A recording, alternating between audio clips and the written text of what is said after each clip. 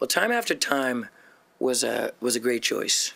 Um, I grew up listening to Cyndi Lauper. You know, that was another one of my favorite uh, female singers. The song was different.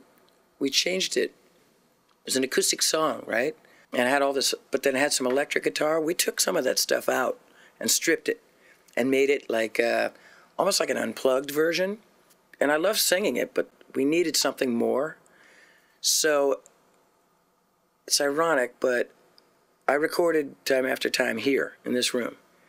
But next door was the great uh, ukulele player, Jake Shimabukuro.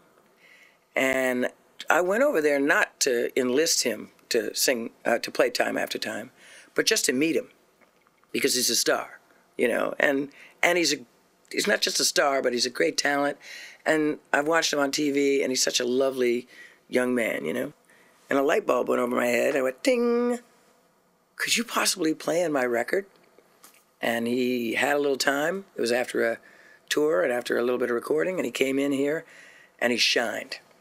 And he made time after time. Just just that much special. After time, if you fall, I will catch you. I'll be waiting.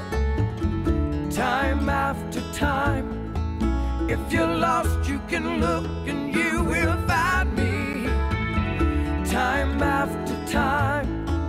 If you fall, I will catch you. I'll be, I will waiting. be waiting time after time.